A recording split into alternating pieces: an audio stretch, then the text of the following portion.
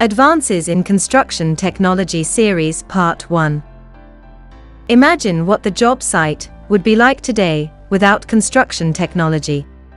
We'd be cutting boards and drilling holes by hand without power tools. Laborers would excavate sites and dig trenches with shovels and pickaxes without heavy equipment. Without the elevator, buildings would only be a few stories tall. This video is part one of a three-part series about technology impacting and improving the construction industry. Software and mobile apps. Mobile technology allows for real-time data collection and transmission between the job site and project managers in the back office.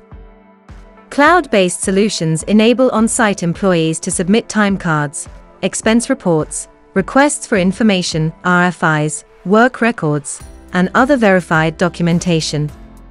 This can save hundreds of hours per year in data entry and automatically organizes critical files. No more shuffling through files looking for old reports. Mobile technology. Smartphones and mobile apps have made communication and collaboration on projects more accessible. Instead of driving to the office for impromptu meetings, Firms can use mobile technology to facilitate a meeting of the minds that lead to definitive conclusions without interrupting the day's work. AI and machine learning. Sensors installed on materials and equipment can track how everything else moves about the construction site. Once enough datasets are collected, AI can analyze how workers move about and interact with the site to devise solutions to optimize the placement of tools and materials to make them more accessible and reduce downtime. Robots and AI are also being used to monitor job site progress with real-time, actionable data to improve job site productivity. Autonomous drones and rovers are equipped with high-definition cameras and LiDAR to photograph and scan the construction site daily with pinpoint accuracy. AI then uses those scans to compare against BIM models, 3D drawings, construction schedules, and estimates to inspect the work quality and determine how much progress has been made each day.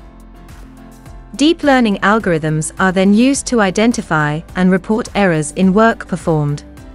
This can be anything from the excavation and site work to the mechanical, electrical and plumbing systems.